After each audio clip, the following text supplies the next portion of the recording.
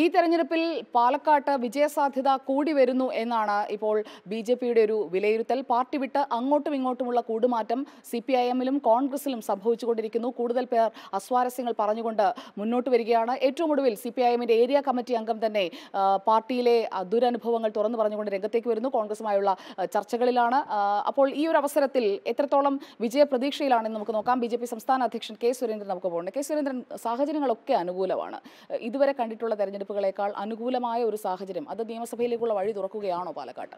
തീർച്ചയായിട്ടും രണ്ട് മുന്നണികളും തമ്മിൽ ഒരു വ്യത്യാസവുമില്ലാതെ വന്നിരിക്കുന്നു എന്നുള്ളതാണ് ഈ തെരഞ്ഞെടുപ്പിലെ ഏറ്റവും വലിയ പ്രത്യേകത. കാരണം എൽ ഡി എഫിന് വോട്ട് ചെയ്താലും യു ഡി എഫിന് വോട്ട് ചെയ്താലും ഒരേ കാര്യം തന്നെയാണ്. അപ്പോൾ വോട്ടർമാർക്ക് ഈ രണ്ട് മുന്നണികൾക്കും എതിരായിട്ട് ചിന്തിക്കാൻ പറ്റിയ നല്ലൊരു തെരഞ്ഞെടുപ്പാണിത്. ബി ജെ പിയെ സംബന്ധിച്ചിടത്തോളം വളരെ ചിട്ടയോടുകൂടിയുള്ള പ്രവർത്തനങ്ങളാണ് ഞങ്ങൾ നടത്തുന്നത്. രാഷ്ട്രീയ സാഹചര്യം വളരെ അനുകൂലമാണ്. ആ സാഹചര്യത്തെ പ്രയോജനപ്പെടുത്താൻ ആവശ്യമായിട്ടുള്ള രീതിയിലുള്ള ഒരു ക്യാമ്പയിനാണ് ഞങ്ങൾ നടത്തുന്നത്.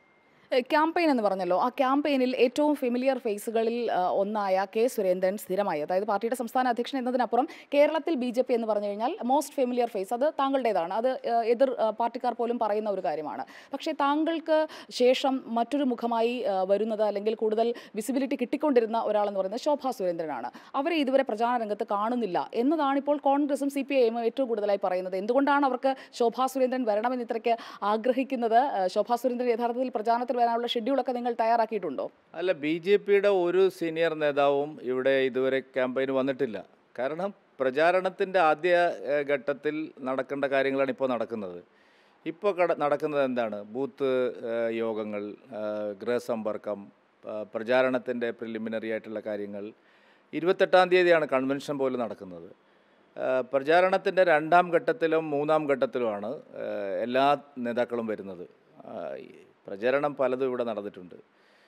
ആ പ്രച പ്രചരിപ്പിച്ചവരെല്ലാം നിരാശരാകുന്ന രീതി താങ്കൾ സ്ഥാനാർത്ഥിയാകുമെന്നൊക്കെ കേട്ടിരുന്നു. നമ്മളും വാർത്തയൊക്കെ കൊടുത്തിരുന്നു. അങ്ങനെയും ഒരു ചർച്ചകളൊക്കെ നടന്നിരുന്നു. താങ്കളെ സ്ഥാനാർത്ഥിത്വത്തിലേക്ക് വരണം എന്ന് കുറേ പേര് നമ്മൾ സഞ്ചരിക്കുമ്പോഴൊക്കെ സുരേന്ദ്രൻ വന്നിരുന്നെങ്കിൽ നന്നായിരുന്നേനെ എന്നൊക്കെ ആളുകൾ പറയുന്നുണ്ട്. ഞാൻ പീപ്പിൾസ് പൾസ് ആണ് പറഞ്ഞത് പാർട്ടിക്കാരുടെ അല്ല.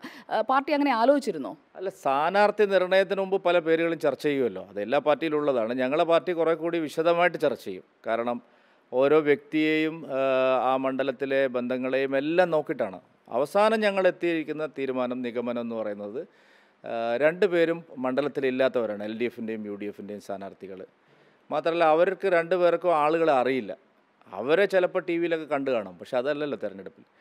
കൃഷ്ണകുമാറിനെ സംബന്ധിച്ച് ഏറ്റവും സുപരിചിതനായിട്ടുള്ള ഒരു സ്ഥാനാർത്ഥിയാണ്. മണ്ഡലത്തിൽ ജീവിക്കുന്ന ഒരാളാണ്. മണ്ഡലത്തിലെ എല്ലാവരും അറിയുന്ന ആളാണ്. അപ്പോൾ അതിന്റെ അഡ്വാന്റേജ് തീർച്ചയായിട്ടും ഈ തെരഞ്ഞെടുപ്പിൽ നാട്ടുകാരൻ എന്നുള്ള നിലയിൽ മുൻ വൈസ് ചെയർമാൻ എന്നുള്ള നിലയിൽ ഇരുപത് വർഷം കൗൺസിലർ എന്നുള്ള നിലയിൽ പാർട്ടിയുടെ ജില്ലാ പ്രസിഡന്റും സംസ്ഥാന ജനറൽ സെക്രട്ടറിയും ഒക്കെ ആയിട്ട് ജനങ്ങൾക്കിടയിൽ പ്രവർത്തിച്ച അനുഭവ പാരമ്പര്യം.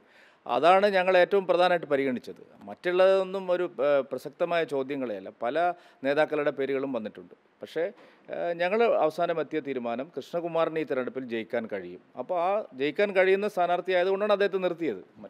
സി കൃഷ്ണകുമാറിനെ കുറിച്ച് പറയാറുള്ളത് സി കൃഷ്ണകുമാറിന് മറ്റ് ആളുകൾക്കിടയിലേക്ക് അതായത് സാധാരണഗതിയിൽ ബി ജെ പിയിലേക്ക് വരാത്ത മതേതര വോട്ടുകളെന്ന് യു ഡി എഫും എൽ ഡി എഫും പറയുന്ന മുസ്ലിം ന്യൂനപക്ഷങ്ങളുടെ വോട്ടുകൾ. അതുപോലും ഈ ഒരു നഗരസഭാ തെരഞ്ഞെടുപ്പിലേക്ക് വരുമ്പോൾ സി കൃഷ്ണകുമാർ അനുകൂലമായി പോൾ ചെയ്യപ്പെടാറുണ്ട്. അല്ലെങ്കിൽ അദ്ദേഹത്തിനൊപ്പം ബി ജെ പിക്കൊപ്പം നിൽക്കുന്ന ഒരു സാധ്യത വളർത്തിക്കൊണ്ടുവരുന്നുണ്ട് ഇവിടെയെന്ന്. അങ്ങനെയുള്ള ഒരു സ്വീകാര്യത സി കൃഷ്ണകുമാറിനുണ്ടോ മറ്റു രണ്ടുപേരെയും വെച്ച് നോക്കുമ്പോൾ. അല്ല അമ്പത്തഞ്ച് ശതമാനം മുസ്ലിങ്ങളുള്ള വാർഡിൽ അദ്ദേഹം ജയിച്ചിട്ടുണ്ട്. അമ്പത്തഞ്ച് ശതമാനം മുസ്ലിങ്ങളുള്ളതും ബി ജെ പി മൂന്നാം സ്ഥാനത്തുമായിരുന്ന വാർഡിലാണ് കൃഷ്ണകുമാർ അവസാനം ജയിച്ചത്. അപ്പോൾ എന്റെ അർത്ഥം പത്ത് വർഷം പതിനഞ്ച് വർഷം അദ്ദേഹം കൗൺസിലറായിട്ട് പ്രവർത്തിച്ചപ്പോൾ അദ്ദേഹം എങ്ങനെയാണ് പ്രവർത്തിച്ചതെന്ന് നാട്ടുകാർക്ക് അറിയാമല്ലോ പുറമേയുള്ള പ്രചരണം അല്ലല്ലോ. വോട്ടർമാർക്ക് അറിയാം കൃഷ്ണകുമാർ എങ്ങനെയാണ് പ്രവർത്തിച്ചത്. അതുകൊണ്ട് അമ്പത്തഞ്ച് ശതമാനം മുസ്ലിങ്ങളുള്ള വാർഡിൽ ജയിക്കാൻ കഴിയുന്ന ഒരു കാൻഡിഡേറ്റാണ് കൃഷ്ണകുമാർ എന്നുള്ളത് അദ്ദേഹത്തിന്റെ സ്വീകാര്യതയെ ഞങ്ങൾ വേറൊരു എവിഡൻസ് കാണിക്കേണ്ട ആവശ്യമില്ലല്ലോ. അത് ശരിയാണ്. അപ്പോൾ ഈ മറ്റ് മുന്നണികൾക്കുള്ളിലൊക്കെ ഈ തർക്കങ്ങൾ ഉണ്ടാകുന്നതൊക്കെ നിങ്ങൾ പുറത്തു നിന്ന് അയ്യപ്പനും കോശിയും പോലെ ഞങ്ങൾ ഇതിലില്ല നമ്മളിത് കണ്ടാൽ മതി എന്നുള്ളൊരു ലൈനാണോ കെ സുരേന്ദ്രൻ സ്വീകരിക്കുന്നത്? അതിന് ആദ്യം മുതലേ തന്നെ മാധ്യമങ്ങൾ പ്രചരിപ്പിച്ചത് ബി ജെ പിക്കകത്ത് എന്തോ വലിയ തർക്കങ്ങളാണെന്നാണ്. സത്യത്തിൽ ഇവിടെ അടി നടക്കുന്നത് എൽ ഡി എഫിലും യു ഡി എഫിലുമാണ്. എൽ ഡി എഫിലും യു ഡി എഫിലും അടി നടക്കുമ്പോൾ ബി ജെ പി അങ്ങനെ ഒഴിവാക്കി വിടണ്ട എന്നുള്ള നിലയിലാണ് കുറേ പ്രചരണങ്ങൾ നടന്നത്. ഞങ്ങൾക്കതെല്ലാം വളരെ നല്ലതായി എന്നാണ് തോന്നുന്നത്. കാരണം കുറേ കൂടി ജാഗ്രതയോടെ പ്രവർത്തിക്കാൻ ഞങ്ങൾ പോരായ്മകൾ പരിഹരിച്ച് പ്രവർത്തിക്കാനൊക്കെയുള്ള ആത്മവിശ്വാസം ഞങ്ങൾക്ക് ലഭിച്ചത് ഈ വിമർശനങ്ങൾ തുടർച്ചയായി വന്നതുകൊണ്ടാണ്. അതെല്ലാം മനസ്സിലാക്കിയിട്ടാണ് ഞങ്ങളുടെ സ്ട്രാറ്റജി മുന്നോട്ട് പോകുന്നത്. കെ സുരേന്ദ്രൻ സാധാരണ മറ്റൊരു സ്ഥാനാർത്ഥിക്ക് വേണ്ടി ക്യാമ്പ് ചെയ്ത് പ്രവർത്തിക്കുന്ന ആദ്യ ഘട്ടം മുതൽ തന്നെ താങ്കൾ പറഞ്ഞതുപോലെ രണ്ടാം ഘട്ടത്തിലോ മൂന്നാം ഘട്ടത്തിലോ ഒക്കെ താങ്കൾക്ക് വന്നാൽ മതിയായിരുന്നു. പക്ഷേ പാലക്കാട്ട് താങ്കൾക്ക് ഒരു സ്പെഷ്യൽ ഇൻട്രസ്റ്റ് ഉണ്ടെന്ന് തോന്നുന്നു. അല്ലല്ല അങ്ങനെയല്ല. ഞാനിപ്പോൾ ഒ രാജഗോപാൽജി നെയ്യാറ്റിൻകരയിലും അരുവിക്കരയിലും മത്സരിച്ചപ്പോൾ പൂർണ സമയം ഉണ്ടായിരുന്നു എല്ലാ ഉപതെരഞ്ഞെടുപ്പുകളിലും ഞാൻ പൂർണ സമയം പ്രവർത്തിക്കാറുണ്ട്. നിയമത്തൊക്കെ നിയമത്തൊക്കെ പക്ഷേ താങ്കളെ കണ്ടത് രണ്ടാം ഘട്ടത്തിലൊക്കെയാണ്. ഇവിടെ തുടക്കം മുതൽ തന്നെ അതായത് ഒരു അധ്യക്ഷൻ കൊടുക്കേണ്ട സപ്പോർട്ട് അന്നൊന്നും താങ്കൾ പാർട്ടി അധ്യക്ഷനായിരുന്നില്ല. പക്ഷേ ഒരു പാർട്ടി അധ്യക്ഷൻ എന്ന നിലയിൽ മത്സര രംഗത്ത് വിജയസാധ്യതയുള്ള ഒരാൾക്ക് കൊടുക്കേണ്ട പരമാവധി പിന്തുണ കൊടുക്കുക. അതാണോ താങ്കൾ ഉദ്ദേശിക്കുന്നത്? അല്ല നിയമത്ത് കുമ്മനം മത്സരിക്കുമ്പോൾ ഞാൻ വേറെ സ്ഥലത്ത് മത്സരിക്കുകയായിരുന്നു. അതുകൊണ്ട് എനിക്ക് അവിടെ പോകാൻ സമയം കിട്ടി. എങ്കിലും ഞാൻ പോയിട്ടുണ്ടായി. പക്ഷേ ഇതിപ്പോൾ ഞാൻ മൂന്ന് സ്ഥലത്തും പോകുന്നുണ്ട്. കാരണം ഞാൻ പാലക്കാട് മാത്രം കേന്ദ്രീകരിച്ച് പ്രവർത്തിക്കുന്നതല്ല ചേലക്കരയിലുണ്ട് വയനാട്ടിലുണ്ട്.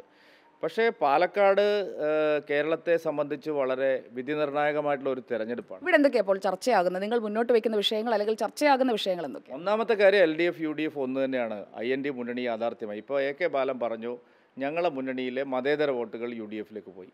നോക്കൂ അത് തന്നെയാണ് ഇത് ഏറ്റവും പ്രധാനപ്പെട്ട വിഷയം. അതായത് മതം നോക്കി വോട്ട് മാറ്റി ചെയ്യുന്നവർ മതേതര വോട്ട്. എ കെ ബാലന്റെ സി പി എം പാർട്ടിക്ക് ഉറച്ച് അരിവാൾ ചുറ്റിയൊക്കെ ചെയ്തവർ മതേതരല്ല. ഈ ഒരു പ്രശ്നം വളരെ പ്ര- പ്രധാനപ്പെട്ടതാണ്. അതായത് മതം നോക്കിയിട്ട് ഈ ശ്രീധരനെ തോൽപ്പിക്കാൻ ശ്രമിച്ച് വോട്ട് മാറി ചെയ്തത് പറ ബാലൻ തന്നെ പറയുകയാണ് മതേതര വോട്ടുകൾ അങ്ങോട്ട് പോയി. യു ഡി എഫ് പറയുകയാണ് ഞങ്ങൾക്ക് മതേതര വോട്ടുകൾ കിട്ടിയിട്ടുണ്ട്. അപ്പം മുസ്ലിം വോട്ടിനെയാണ് ഇവർ മതേതര വോട്ട് എന്ന് പറയുന്നത്. പക്ഷേ ഹിന്ദുക്കളുടെ ക്രിസ്ത്യാനികളുടെ വോട്ടിനെ അവർ മതേതര വോട്ടായിട്ട് കാണുന്നില്ല. സ്വന്തം പാർട്ടിക്ക് വേണ്ടി ഉറച്ചു നിന്ന് അരിവാൾ ചുറ്റിക നക്ഷത്രത്തിന് വോട്ട് ചെയ്ത ആൾക്കാർ മതേതര വോട്ടല്ല. ഇത് ഞാൻ മഞ്ചേശ്വരത്തും കണ്ടതാണ്. മഞ്ചേശ്വരത്ത് ഇരു ഇരു സ്ഥാനാർത്ഥികളും മതേതര വോട്ടുകൾ ഞങ്ങൾക്കാണ് എന്ന് പറയുമ്പോൾ അവർ ഉദ്ദേശിക്കുന്നത് ഈ ഒരു വിഭാഗത്തിന്റെ വോട്ട് മാത്രമാണ്? അതല്ലേ മതേതര വോട്ട് എന്ന് പറയുന്നത്. ശരിക്കും ഇത് വർഗീയ വോട്ടാണ്. കാരണം സ്വന്തം സ്ഥാനാർത്ഥി ഉണ്ടായിട്ടും അരിവാൾ ചുറ്റിക നക്ഷത്രം ഉണ്ടായിട്ടും ആ ചിഹ്നത്തിന് വോട്ട് ചെയ്യാതെ യു ഡി എഫിലെ ഒരു സ്ഥാനാർത്ഥിയുടെ മതം നോക്കിയിട്ട് അവർ മാറി ചെയ്തതാണ്. അപ്പോൾ അതാണ് വർഗീയ വോട്ട്. അങ്ങനെയാണെങ്കിൽ ഇത്തവണ അങ്ങനെ നോക്കി ചെയ്യാൻ കഴിയില്ലല്ലോ. കാരണം മൂന്ന് സ്ഥാനാർത്ഥികളും ഹിന്ദുക്കളാണ്. മൂന്ന് പേരുടെയും നെറ്റിയിൽ ചന്ദനക്കുറിയൊക്കെ ആയിട്ടാണ് പ്രചാരണ വേളയിൽ കണ്ടത്. ചന്ദനക്കുറി ഒരു സ്ഥലത്ത് മായ്ക്കുന്നു. ഇപ്പോൾ രാജ്മോഹൻ ഉണ്ണിത്താന് അറുപത് കൊല്ലം കറുത്ത കുറി തൊട്ടിട്ടായിരുന്നു നന്നത്. അദ്ദേഹം കാസർഗോഡ് എത്തിയപ്പോൾ കുറിയെ മാറ്റി കളഞ്ഞു. ഞാനത് ചോദിച്ചപ്പോൾ അദ്ദേഹം അലർജി ഉണ്ടെന്നാണ് പറഞ്ഞത്. അലർജി. ഇത് തന്നെയാണ്. ജനങ്ങൾക്കാണ് അലർജി. കാരണം ജനങ്ങൾക്ക് ഇവരെ കാണുമ്പോൾ ഇപ്പോൾ അലർജി. രണ്ടാമത് ഇവിടെ വന്ന രണ്ട് സ്ഥാനാർത്ഥികൾ നല്ല ചന്ദനക്കുറി. സർ ചന്ദനക്കുറി ഒന്നും തൊട്ടാൽ ആളുകൾ മയങ്ങി വീഴും എന്നുള്ള മിഥ്യാധാരണയൊന്നും വേണ്ട. ഇവർ പശുക്കുട്ടിയെ അതായത് കണ്ണൂർ നഗരത്തിൽ ഇവിടുത്തെ യു ഡി എഫ് സ്ഥാനാർത്ഥിയുടെ എൽ ഡി എഫ് സ്ഥാനാർത്ഥിയുടെയും ഒറ്റ അനുയായി ഒരു നഗരത്തിൽ ഒരു ഒരു കൊച്ചു കിടാവിനെ പശുക്കുട്ടിയെ അറത്ത് അതിനെ പിന്നെ പാകം ചെയ്ത് അവിടെ വിതരണം ചെയ്ത മനുഷ്യ ഇത്രയും നീചമായിട്ടുള്ളൊരു പ്രവൃത്തി ചെയ്ത ആൾക്കാരാണ്. അവരിവിടെ വന്നിട്ട് ഞങ്ങൾ ചന്ദനക്കുറി തൊട്ടു പിന്നെ ഷാളക്കിട്ട് അമ്പലത്തിൽ പോയി. ഫാൻസി ഡ്രസ്സൊക്കെ കൊള്ളാം. പാലക്കാട്ടുകാരെ അത്ര കബളിപ്പിക്കാൻ ആരും ശ്രമിക്കേണ്ട. പാലക്കാട്ടുകാർക്ക് കാര്യം മനസ്സിലാകും. അതുകൊണ്ട് ഇത്തവണ നിയമസഭയിൽ എത്താൻ കഴിയും. അത് തന്നെയാണോ താങ്കളുടെ അവസാന റൗണ്ടിലെ കണക്ക് ഉറപ്പായിട്ടും. തൃശ്ശൂരിൽ സുരേഷ് ഗോപിക്ക് സംഭവിച്ചത് തന്നെ പാലക്കാട് കൃഷ്ണകുമാറിനും സംഭവിക്കും. ബി ജെ പി സംസ്ഥാന അധ്യക്ഷൻ കെ സുരേന്ദ്രൻ ഉറച്ച വിജയപ്രതീക്ഷയിലാണ് എൽ ഡി എഫും യു ഡി എഫും പറയുന്ന മതേതരം. അത് മുസ്ലിം ന്യൂനപക്ഷത്തെ മാത്രം ലക്ഷ്യമിട്ടുകൊണ്ടുള്ള ഒരു വോട്ടാണ്. അതാണ് അദ്ദേഹം എടുത്തു പറയുന്ന പ്രധാനപ്പെട്ട കാര്യം. എന്തായാലും തെരഞ്ഞെടുപ്പ് അടുത്ത ഘട്ടത്തിലേക്ക് അല്ലെങ്കിൽ പോളിംഗിലേക്ക് പോകുന്നതിന് തൊട്ട് മുൻപുള്ള അടുത്ത ഘട്ട പ്രചാരണത്തിലേക്ക് എത്തുമ്പോൾ ശോഭാ സുരേന്ദ്രൻ എത്തും എന്നതുകൂടി കെ സുരേന്ദ്രൻ പറയുകയാണ് റിപ്പോർട്ടറിലൂടെ.